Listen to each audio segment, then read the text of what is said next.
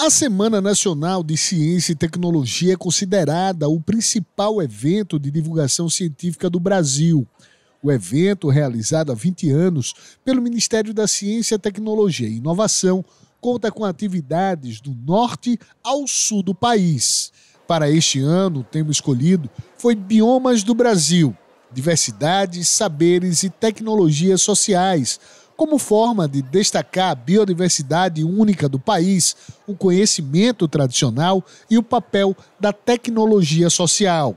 Aqui em Sergipe, o Centro de Vivência da Universidade Federal de Sergipe foi o local escolhido para abrigar a 14ª edição da Feira Científica de Sergipe, que é parte das celebrações da 21ª Semana Nacional de Ciência e Tecnologia.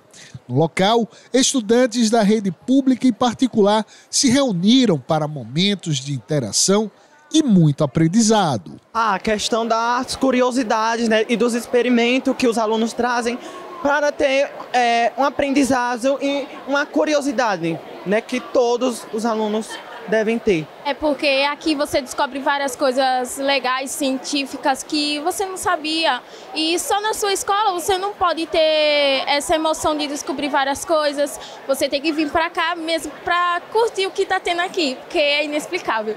A professora Eliana Midori, uma das organizadoras da Cienarte, reforça que foram muitos projetos apresentados para esta edição, até a seleção dos trabalhos expostos na feira. Nós temos 128 trabalhos sendo apresentados, tanto de escolas públicas como escolas privadas do estado de Sergipe, da educação básica do estado de Sergipe. Então, é exatamente isso, que a gente tenha troca de experiências, de projetos de científicos que estão sendo realizados nas escolas. Eliana lembra ainda que, além da importância de introduzir a ciência e a tecnologia no ambiente escolar, os melhores trabalhos são premiados com bolsas e incentivos. Esse ano, desses 128, nós escolhemos, né? Tivemos que escolher porque o quantitativo de trabalhos que foram submetidos foi muito superior a isso. Então, nós, isso demonstra que, desde a educação básica, nós temos um incentivo a projetos que são realizados nessas escolas.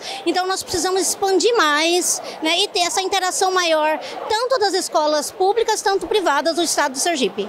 Em meio a tantos expositores, incentivar a prática no setor da ciência e da tecnologia é uma das principais metas deste evento não só conhecer, entender, mas como desenvolver pesquisa científica na escola, dentro da realidade e mostrar que a ciência não é só feita de laboratório, jaleco, ela é feita dentro da realidade escolar com os problemas do cotidiano. É introduzir o pensamento científico e uma introdução à educação científica de uma maneira geral. Raquel Freitag justifica o porquê todos olharem com carinho para cada edição realizada da Cienarte. A Cienarte tem, é um projeto anual, tem atividades o ano inteiro, mas a culminância é durante a Semana Nacional de Ciência e Tecnologia e que nós reunimos os trabalhos selecionados. Né? Nós tivemos mais de 500 submissões de trabalhos,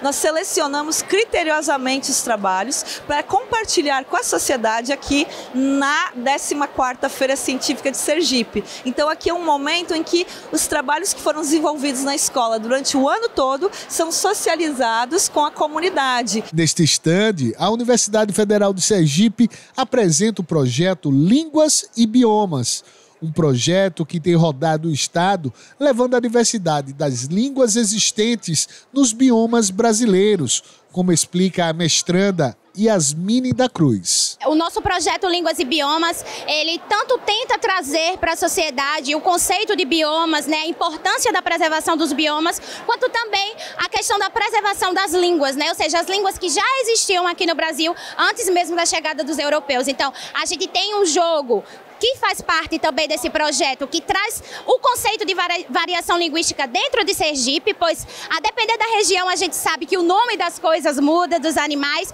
Então a gente traz esse jogo também para atrair o público e com isso mostrar a importância de preservar os biomas e as línguas naturais do nosso país. Para o reitor da Universidade Federal de Sergipe, um evento dentro da UFS tem o propósito não apenas de motivar, mas de realizar sonhos de muitos desses jovens participantes. Um dos projetos, das ações extremamente importantes da universidade. Parabenizo a comissão organizadora, porque aqui nós estamos nutrindo sonhos. É, para além disso, a gente está dando todo um suporte acadêmico, científico para as escolas em todo o território do nosso estado, para que eles possam desenvolver projetos relevantes, colocando aqueles alunos que ainda estão no ensino fundamental para pensar, consolidar o seu aprendizado e trazer a ciência para dentro do seu dia a dia. Estimulando eles, inclusive, a vir dentro desse ambiente aqui da nossa universidade a sonhar mais